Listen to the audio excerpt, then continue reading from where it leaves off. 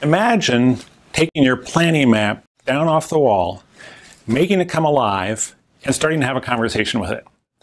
It would be articulate, it would know a lot of information, it would answer your questions. That's what geodesign for planning is all about, and that's what this course is all about. My name is Doug Walker. I'm the president and principal of Placeways, and we're the makers of CommunityViz software. And in this course, I'm going to be talking to you about how to do geodesign for planning with CommunityViz. We'll talk about how you can draw on that map and make it tell you answers. We'll talk about how you can change assumptions, look at different scenarios and alternatives. And I'll show you a lot of examples of how those work in real life. Later on, I'll show you how you can set up those kinds of analysis yourself within CommunityViz. So I'm looking forward to working with you and let's get started.